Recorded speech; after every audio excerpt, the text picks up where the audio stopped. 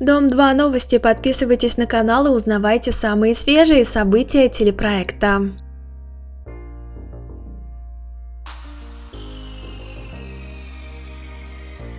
В жизни Ильи Ебарова началась черная полоса, мужчина заболел и прогнозы врачей совсем неутешительные. Напомню, накануне Илье стало настолько плохо, что мужчине даже вызвали скорую помощь прямо на поляну. Ебарову поставлен диагноз – хроническая язва желудка. А вчера Илья пожаловался на дороговизну медицинских услуг, которые ему понадобились из-за заболевания. Что же стало причиной болезни Ебарова? Неужели поедание всего подряд из холодильника дома 2, что пришлось скорую скорую помощь вызывать. Еще несколько дней назад стало известно о безобразной потасовке Анны Мадан и Анастасии Балтер. Тогда же Аня обратилась к фолловерам и показала как ей расцарапали ногтями лицо, после чего призвала гнать таких участников, как Балтер, за ворота. Вот теперь у зрителей представилась возможность увидеть все своими глазами. Судя по анонсу будущего эфира, Настя резко среагировала на оскорбление со стороны Мадан и без раздумий кинулась в драку. Причем ранее на вечеринке по случаю своего исправления Настя клятвенно пообещала больше никогда не распускать руки. Разгоряченные алкоголем и эмоциями участницы вцепились друг в друга мертвой хваткой, а стараний и уговоров Марсиаги не хватило на то, чтобы их утихомирить. К слову, перевес сил был явно на стороне Мадан, правда почему-то именно она пострадала больше соперницы. Попытки Кристины Бухенбалте построить отношения с Евгением Ромашовым закончились провалом. Впрочем, зная девушку, это абсолютно никого не удивило. После недавних откровений девушки о бывшем стало понятно, как сильно она завысила планку. Кристина решила похвастаться подарками от заграничного ухажера. Если верить девушке, избранник охотно баловал ее и редко дарил что-то дешевле 20 тысяч евро. Причем эта сумма для участницы Дома-2 звучит вполне нормально. Бухенбалте убеждена, мужчина просто просто обязан содержать возлюбленную и ни в чем ей не отказывать. С такими запросами Буханбалте предложили искать жениха за воротами. Мало кто сомневается, состоятельные мужчины никогда не придут на проект. Ирина Пингвинова сделала откровенное признание. Девушка рассказала об окончательном расставании с Дмитрием Чайковым. Вот что написала Ира. Мне до сих пор не верится, что это все происходит со мной. Прошло уже полторы недели, я молчала. Было противно об этом сообщать. Этот вечер, к сожалению, навсегда останется в моей памяти. Вечер, когда растворились в сером тумане мои воздушные замки. Вечер полный разочарований и самых горьких слез в моей жизни. Мы не будем никогда семьей. Не могу сказать, что я дура, я просто хотела обрести семью, но вместо этого я просто создавала иллюзию этой семьи, мечтала о свадебном платье и о словах «любимая, спасибо за дочь». Твердила всем, вы ошибаетесь, он меня любит, я мечтала об этом, нескончаемая боль и обида, этот знакомый ком в горле. Нужно быть сильной и идти дальше, единственное, что я могу себе сказать – Пусть он будет прекрасным отцом, но, к сожалению, уже никогда не станет моим мужем. Я сделала все, что было в моих силах, но я так и не смогла заслужить его любовь. Наверное, и не нужно было заслуживать. Тебя либо любят, либо нет. Плевать, я еще раз правлю свои крылья. Спасибо за дочку, что у меня под сердцем. Эта девочка послана мне судьбой. Она должна была появиться в моей жизни. Космическая любовь к той, кого я еще не видела, и я сделаю все для нее, обещаю. Друзья, пожалуйста, не забудьте подписаться на канал, поставить колокольчик и оценить это видео. Поставьте лайк или дизлайк. Интересная новость сайта Шлок Ульяна Павлова, несмотря на то, что объявила кастинг и хочет строить отношения на телестройке, продолжает изводить Максима Мельника. Делает она это там, где он спит.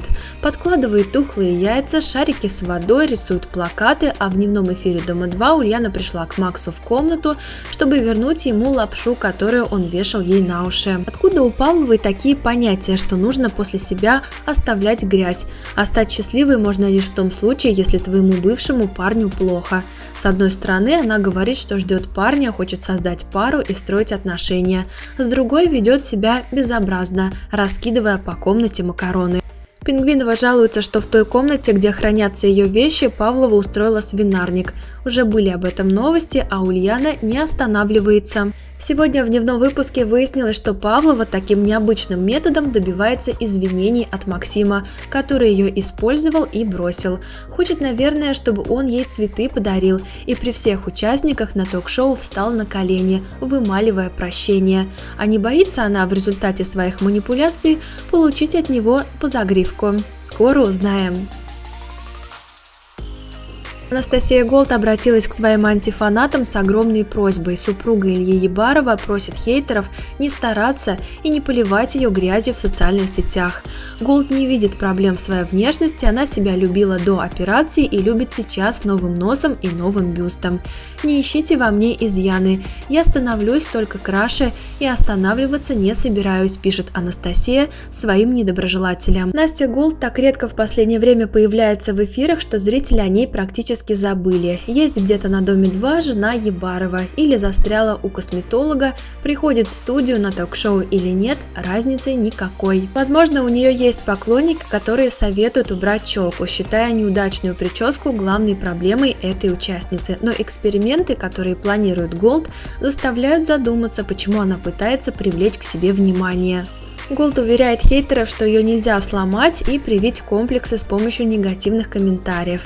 Веру в себя девушка не теряет, подбирает на данный момент новый образ, а врагам из соцсетей советует заниматься своей жизнью, не зацикливаясь на ее недостатках. А кто зацикливался, кто вообще про нее вспомнил, учитывая множество новых проектных историй и скандалов.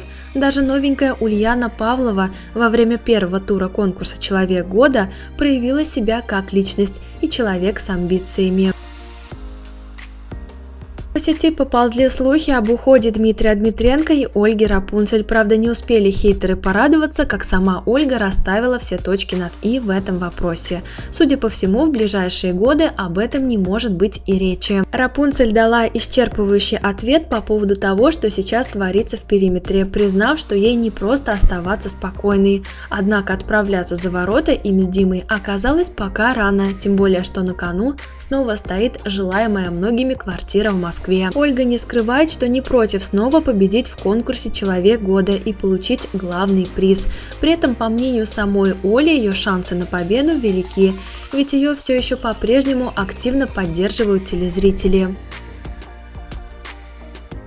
Скандалом в конечном итоге обернулось расставание Ульяны Павловой и Максима Мельника. Зрители уже стали свидетелями жестокой потасовки бывших, которую пришлось разнимать Алексею Безусу.